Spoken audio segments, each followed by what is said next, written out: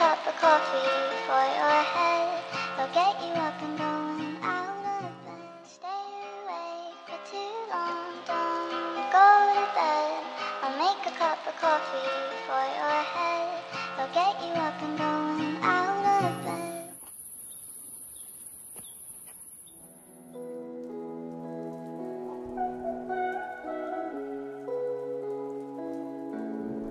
Thank